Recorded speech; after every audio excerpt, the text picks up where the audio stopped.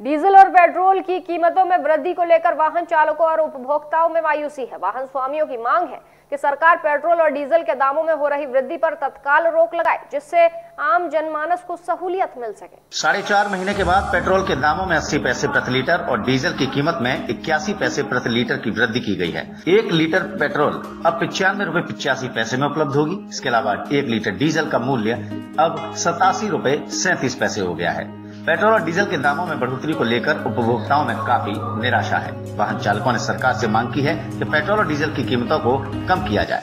अब स्टार्टिंग अभी तो शुरुआत है ही है बाकी सरकार को कंट्रोल करना चाहिए। अगर नहीं करेगी तो लोगों के मन को कष्ट पहुँचेगा। क्या लगता है सरकार बनते कि हम पेट्रोल के दाम बढ़ रहे हैं? लोगों को वैसे पता तो था कि सरकार बनेगी तो हर चीज़ पे रेट बढ़ेंगे हर चीज़ पे दाम बढ़ेंगे। मगर सरकार को हर इस पर कंट्रोल करना चाहिए।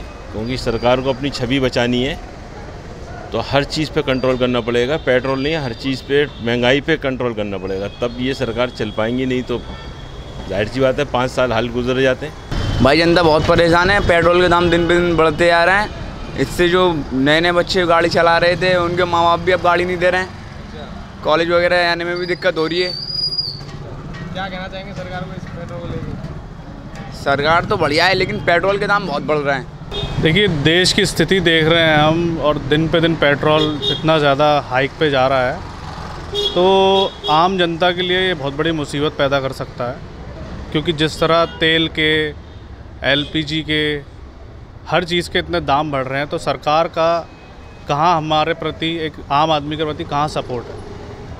क्या लगता है और दाम बढ़ सकते हैं? अभी शुरुआत जिस तरह चल रहा है दो तीन साल से तो ऐसा दाम बढ़ रहा है, एक रुपये पाँच रुपये अस्सी पैसे, आज अस्सी पैसे बढ़ा है।